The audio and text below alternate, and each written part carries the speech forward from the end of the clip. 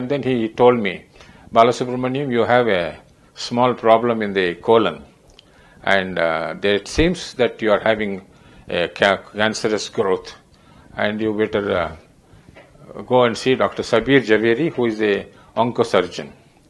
So I went, uncle met uh, Dr. Sabir Javeri, and uh, he says, Mr. Balasubramaniam, I'm very busy. I'm going to New Zealand next week. I'll be back after a month. I said, No, you're not going anywhere unless you they do the procedure on me because it's my life. He really appreciated my pressure on him and he said, Okay, I'll cancel my trip to New Zealand.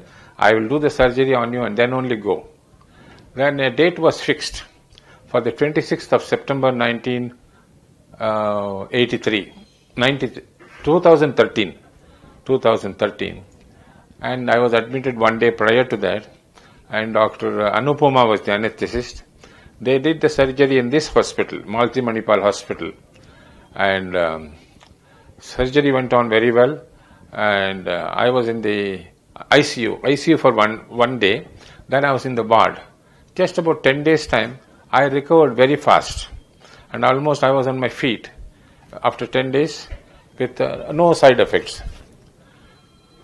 and uh, thereafter five six cycles of uh, chemotherapy I was was done by me by one Dr. Amit Rauthan. I don't know whether he is there now or not, but uh, all the time Dr. Sabir Javeri he respected me like his like a father figure or a, or a friendly brother.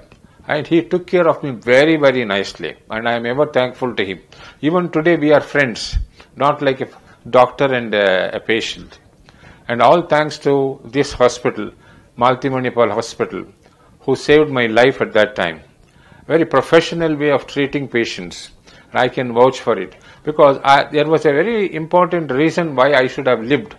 Because my wife was being treated in this very hospital for renal failure. She was a uh, dialysis patient. Unless I am alive, I cannot take care of her. And the hospital it that she was looked after and I was also looked after by this hospital. And all those credit goes to the hospital uh, surgeons, the staff nurses, the doctors, and uh, persons like Lisita. All of them took care of us very well. I am so thankful.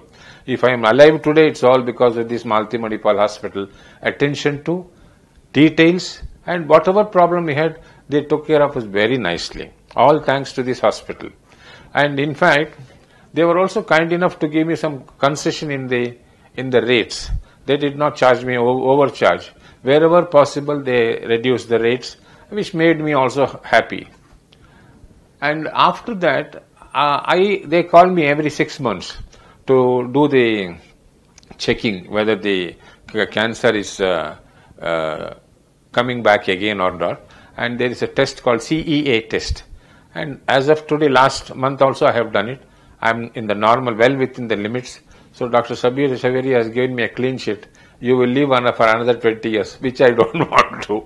At least 20 years is too much. 5, 6 years, 10 years is good enough for me. And I'm dead sure this hospital will take care of me and patients like me who come here, they can very confidently trust this hospital, Malti Manipal Hospital.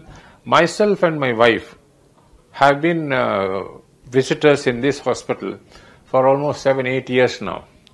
And I was one of the first people who came into this hospital on the day when it was inaugurated, 10 years ago.